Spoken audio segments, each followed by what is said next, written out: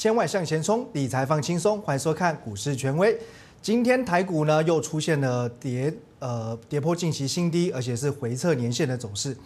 那当然，其实很多投资朋友呢，可能在股市当中的操盘的年资哦，可能不是非常非常久，哦，或许就是刚好在这一两年。那如果你刚好在市场上哦，就是这一两年进场，那看到这种哦特殊的这种黑天鹅事件，然后短时间让股市呢啊接连的失守月线、季线、半年线，甚至下探年线。啊，通常来讲，心情一定会比较害怕哦，比较浮动。那如果你是在市场上至少待五年以上，甚至十年、二十年的投资朋友，其实看到这种走势，大概多半已经会有一定的处理之道啊，因为你有经验了。我们讲，虽然呢，啊，这次是因为所谓的武汉疫情，那当然最接近的事件就是以前的 SARS。那除此之外啊，其实我们纯粹回到说台股。因为特定的事件跟着国际股市一起快速修正的情形，过去也有发生过。比如说英国脱欧的事件，比如说二零一六年的时候呢，川普让他选上总统之后，市场也恐慌的开杀。甚至以前有什么呃三一一的日本海啸、台湾的九二一大地震，啊，还有美国恐怖攻击等等。那这些事件，它算是非常标准的黑天鹅。因为黑天鹅呢，其实就是指那种你无法预料，但是一旦发生，它会造成市场很大的动荡，哦，所以这就是很标准黑天鹅。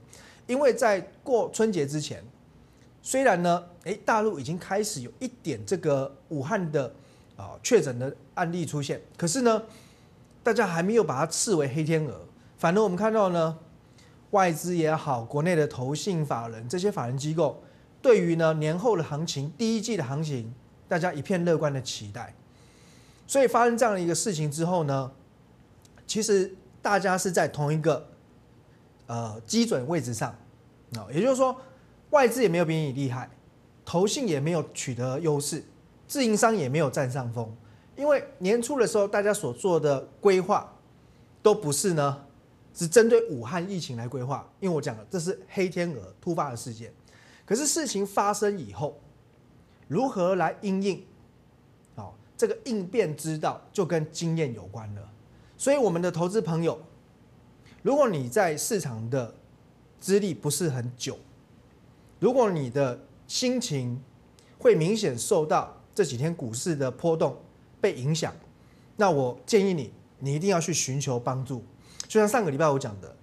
一定要先自救。那所谓的自救，就是你现在手中有哪些股票，不是说不看不听，当做没这回事，逃避，然后想说等这个事件过后，它反弹上来再说。我跟各位讲，很多股票将来它是会慢慢分道扬镳的。如果我们以新春开红盘以后来讲，今天是刚好第三个交易日，跌到这边前三天，绝大部分的股票。哦，绝大部分大家都是一起跌，但是之后有些股票它会继续破底，有些股票它可能就停在这边，那也没什么量，然后就一直继续浑水摸鱼啊，晃啊晃啊晃。但是有些股票它会出现报复性的反弹，所以大家知道，只要是有暴跌，必定会有报复性的反弹，只要呢是有恐慌。就必定会有呢超额报酬，所以在这个时间点上，我不会一直告诉大家去买什么买什么买什么，而是希望你先把你的资金跟持股比重调整到一个你能够觉得比较安心的状态，然后预留一些资金，当然就是要危机入市，是要来利用一些错杀股票，好好的找。危机入市的逢低买点，好，但是这个前提是你要知道该报什么股票，然后预备的现金将来是要买什么股票。好，那今天台股的下跌，一来呢，上礼拜五美股大跌，二来是延后开市的大陆股市，好，今天正式的开盘出来了，那一开盘就直接跌八趴，哦，算合理，因为从其实。期货的走势大概就可以预测，大陆差不多开盘就是要跌这个幅度，所以这也不意外。但是呢，大家注意哦，大陆其实这一次是非常积极的在处理武汉疫情的蔓延，以及呢金融市场的稳定。那你千万不要小看大陆官方的决心，甚至你绝对不要去挑战大陆官方的执行力。哦，这个我们是有目共睹的，因为当初 SARS 其实呢前面拖了大概有两个月、三个月，这一次呢整个武汉疫情因为有了以前的经验，所以呢整个控制疫情它的一个速度效率是让全球刮目相看的。那预估有可能在未来的一周到十天，整个疫情达到最高峰之后，就会开始趋缓。那股票市场通常都会提早落底啊，所以如果你手中有一些持股，这个时候真的非常关键，因为呢，我怕你们有一些股票因为害怕盲从，所以呢乱杀杀低，那你小心有一些低点你杀出去了就买不回来了。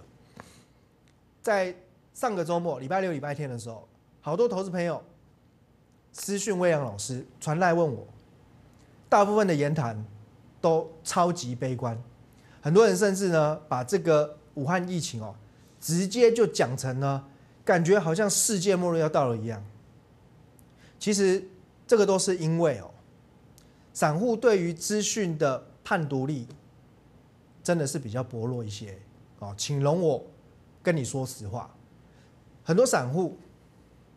明明情绪控制不好，资金管理的策略是不对，甚至是没有策略可言，那又偏偏喜欢呢，整天呢看各种的新闻跟资讯，打开手机不断有赖的最新的资讯，关于疫情的讨论，那有些呢甚至是网络谣言，告诉大家要怎么样去防疫等等的。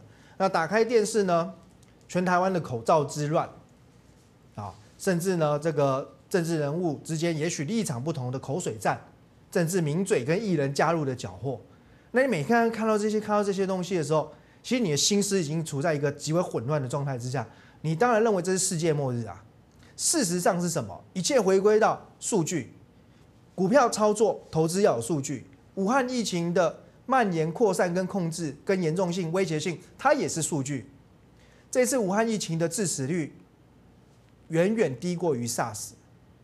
所以说，大家真的不要说啊，情绪管理不好，然后又去看这些太多太多负面的消息报道啊。很多台湾的新闻其实它要的就是一个收视率嘛，不危言耸听，你们怎么会去打开电视看呢？哦，可是我觉得这个对操作真的没有帮助。那回到呢股市里面，我坚信认为这一次。也会如同 SARS 期间一样，股市先跌之后，必将呢收复跌幅。好，你可以把我今天二月三号好讲的这句话牢牢的记住。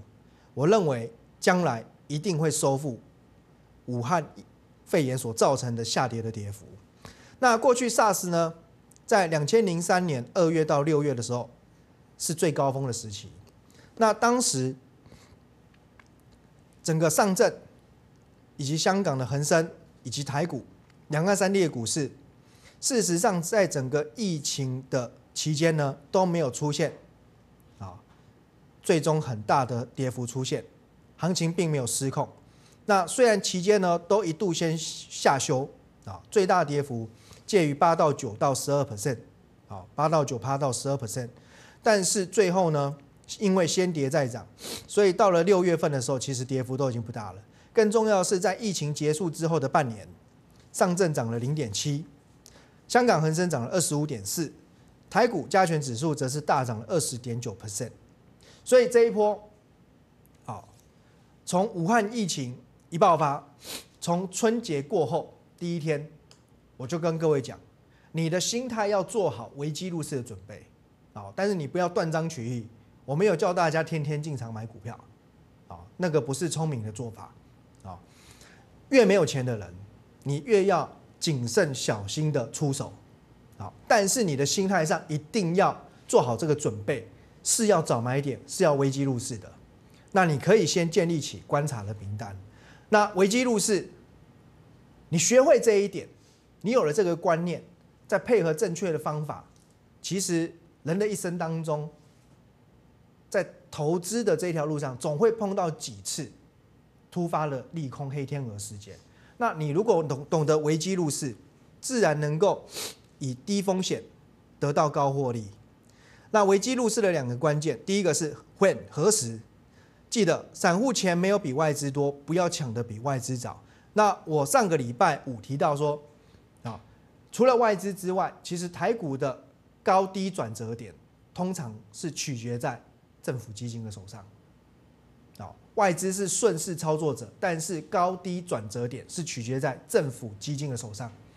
那你说看今天的这个台股，能够留这么长的下影线，代表政府基金当然是进场了，啊，而且今天的量呢又比礼拜五放大，那仅次于呢上个礼拜四，所以呢我说前面呢政府基金会让外资，好，特别是被动式基金，也就是 ETF 的卖压先消化。消化差不多之后，它才会出手，好，那所以政府基金如果进场，那这个当然对行情来说是其中之一的正面讯号。第二个来说，上个礼拜五外资的期货多单也是有增加的，好，所以说这边来讲，你要去注意行情会不会快要接近低点或转折点。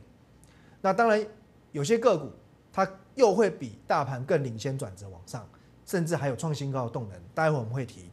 那要买什么股票更重要？你懂了危机入市这个概念之后，好，不是呢进场之后随便买，好，不是随机挑股票，而是要多留意基本面跟筹码面，好，好的公司怎么下来，将来就怎么上去，就会有报复性的反弹，这个叫做基本面。那筹码面呢？大家想想，一月份以来，或者说春节过后，外资呢卖台股，外资卖台股。那外资卖台股的同时，它还是有针对一些个股来做买进布局。那在这种一片恐慌沙盘氛围当中，外资都还不离不弃，愿意买进、愿意加码的个股，这些个股当然它很有潜力。同样的，投信呢也有不得不持股的压力，投信手中一定要有股票。所以，除了一些扣除掉，也许他去买。金控股，或者是高值率股票，或者电信股，那个是纯粹基于防御的立场。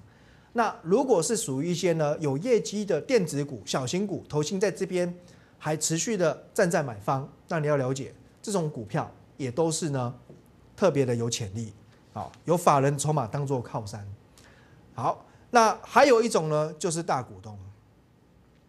那么我们举例来讲，因为大股东的筹码。好每个月都会公告一次。那如果以最新的，也就是呢十二十二月去年十二月的资料来看，最起码哦，我这边列举几家公司，各位可以去对照他们股价看看，相对都稳定啊。我不能说完全没有跌啦，但是相对都很稳定。包含像福茂科、彩金、南港啊，那另外群联、另外顺达啊这几家公司。那其中像彩金哦，后面的大股东包含华兴、利华也买进集团，那包含董事长自己也买进，个人买进。那福茂科呢，哦也是呢，泛台塑集团，那南亚科啊也去做了持股的加码。好，那八一三一福茂科呢是做低润的封测。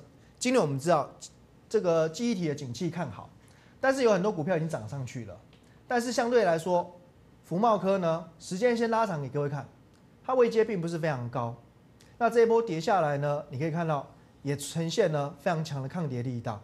那最重要的一点来了，当初在十二月南亚科加码福茂科的持股，它的成本是三十五点六五元，你可以把它记起来，成本是三十五点六五元。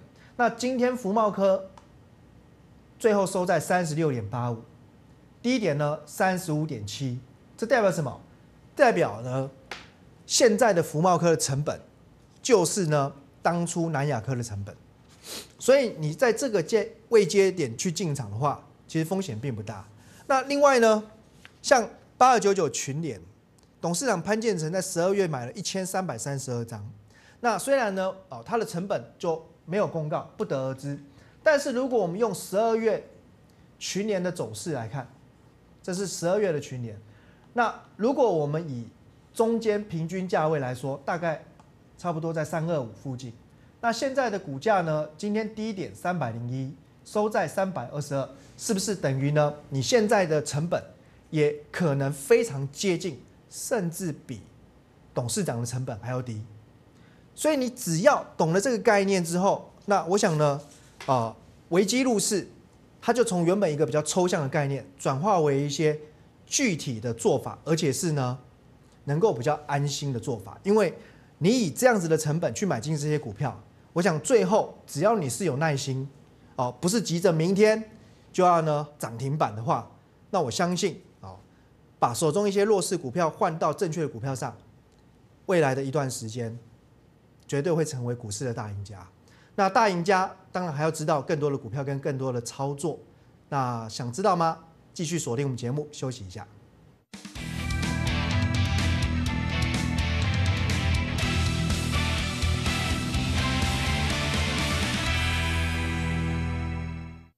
财经第一台，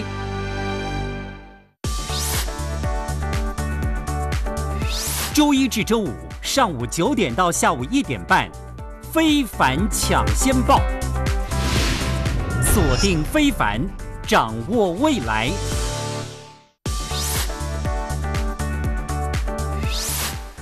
周一至周五全球新观点。锁定非凡，掌握未来。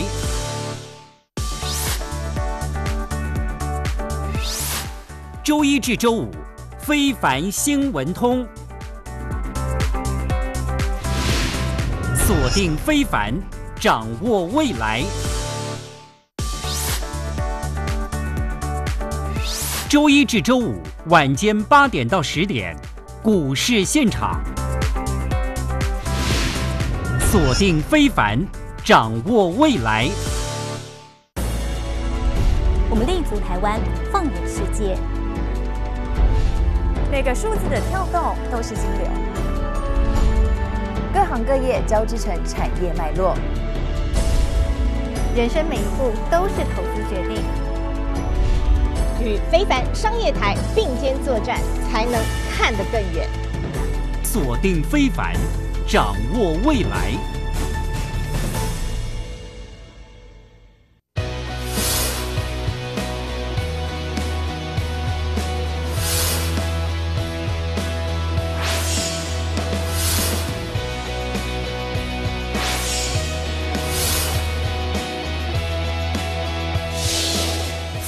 商业台，台湾第一个财经电视台，锁定非凡。掌握未来。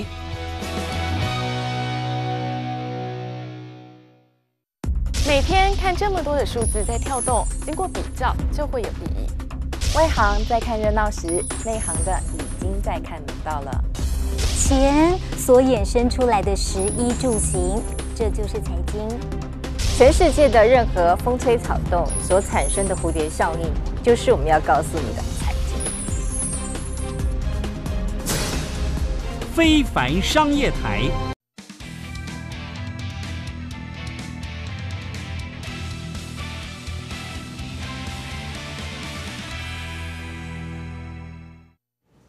刚才讲到，其实维基路是这个观念或者说概念哦，很多人觉得好像呢很有道理，可是真的要执行起来的时候又不知道怎么做哦。这就是说，你要怎么样把观念呢转化为实际上可执行的策略？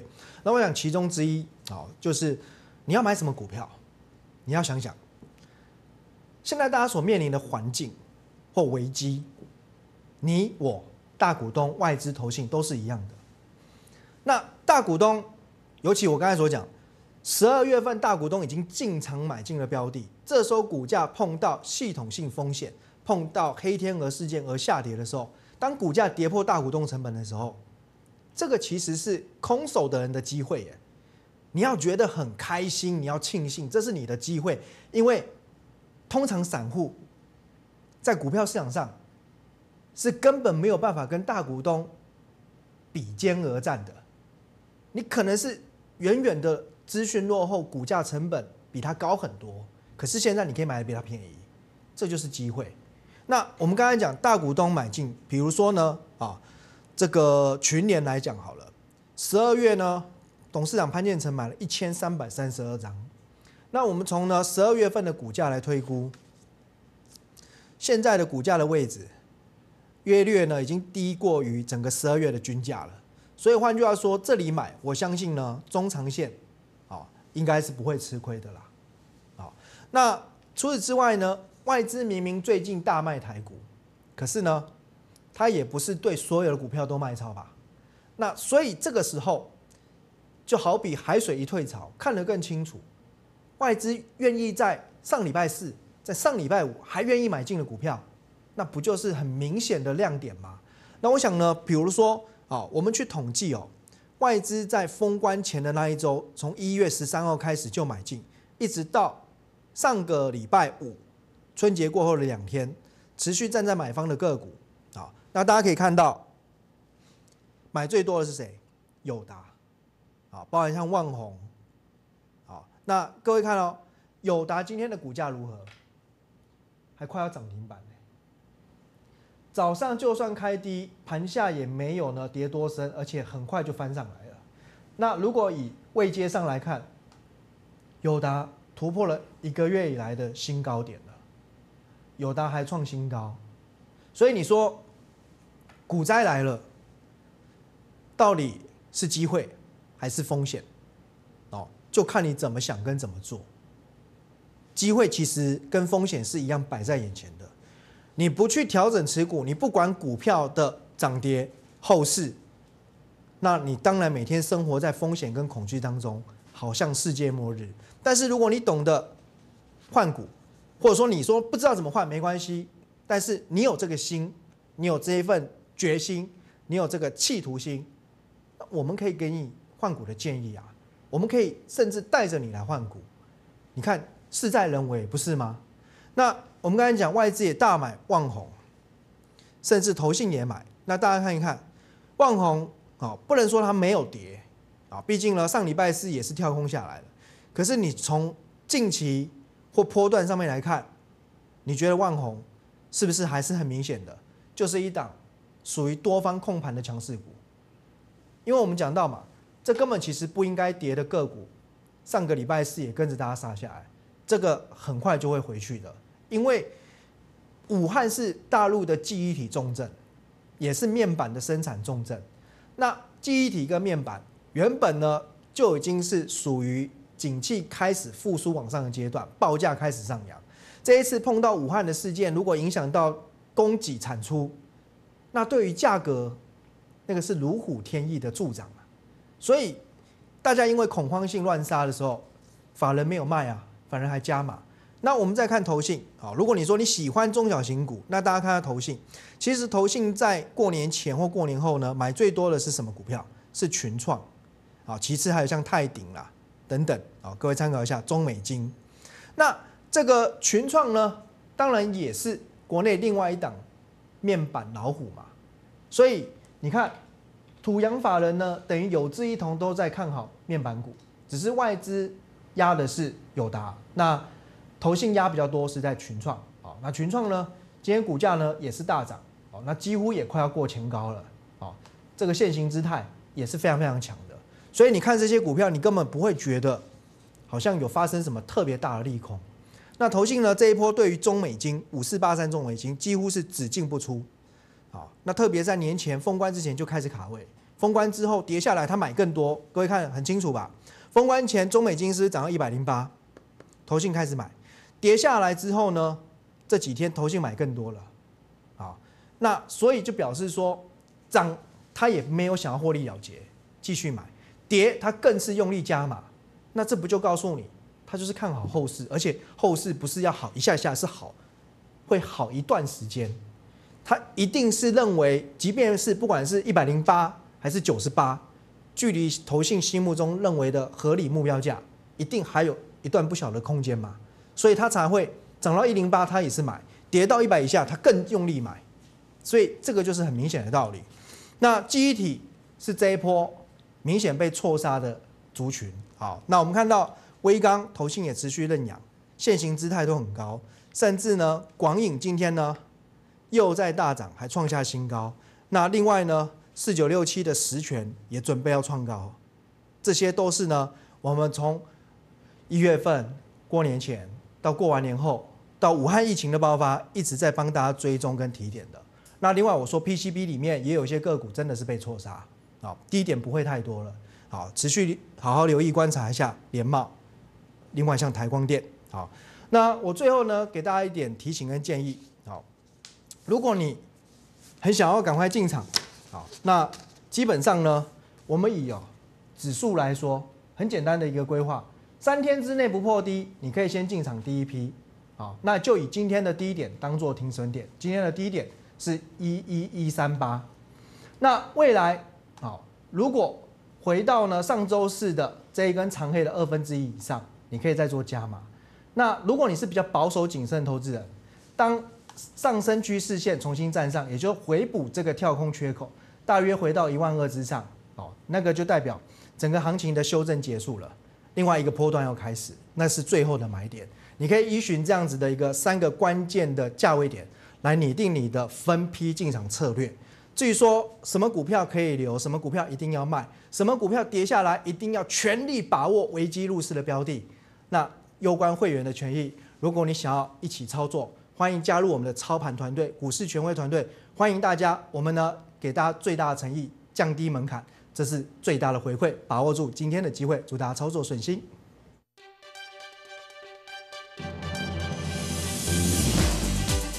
本公司与所推介分析之个别有价证券无不当之财务利益关系。